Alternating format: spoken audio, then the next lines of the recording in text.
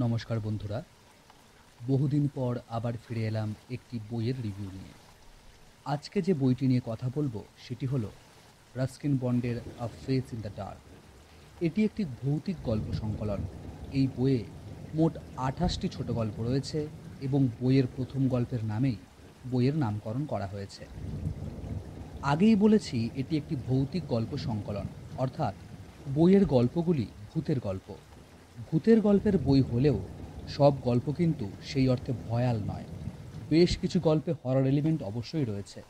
যেমন a face in the dark এবং whistling in the dark গল্পের কথা বলা যায়। আবার কিছু গল্পে সরাসরি ভূত না থাকলেও রয়েছে ক্রিয়েচারের ভয়। এক্ষেত্রে আইস অফ দ্য ক্যাট এবং সামথিং ইন দ্য ওয়াটার গল্পের কথা বলা যায়। আবার কিছু গল্প আমাদের একটা অতীন্দ্রিয় জগতে একটা স্বপ্নের ঘোরে নিয়ে চলে যায়। এই রকম গল্পের উদাহরণ হলো the vision O on fairy hill. Would Astley রিটার্নের মতো ইমোশনাল গল্প এই বইটিকে আলাদা মর্যাদা দিয়েছে।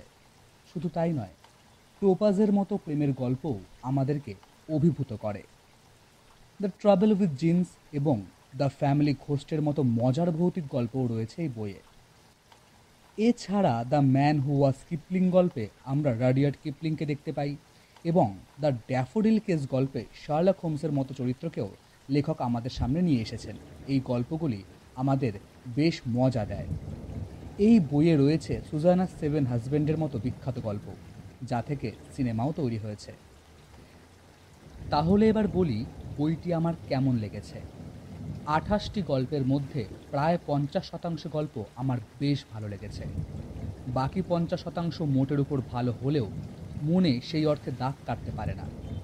এই বইয়ে যে বিষয়টি আমার সবচেয়ে বেশি ভালো লেগেছে, তা হলো লেখকের দেওয়া প্রকৃতির বর্ণনা। বিভিন্ন গল্পে ছড়িয়ে ছিটিয়ে থাকা এই বর্ণনা মনকে শান্তি দেয়। শুধু এই বর্ণনাগুলোর জন্যই কিছু গল্প বারবার পড়ে ফেলা যায়। আর এছাড়া লেখকের লেখার ধরনও খুবই সাবলীল। তাই গল্পের মধ্যে ঢুকতে পাঠককে বেশি কষ্ট করতে হয় না। মোটের উপর a face in the dark একটি ডিসেন্ট গল্প সংকলন। ভিন্ন ভিন্ন স্বাদের ভৌতিক গল্পের স্বাদ পেতে চাইলে অবশ্যই বইটি কিনে পড়ে ফেলা যায়।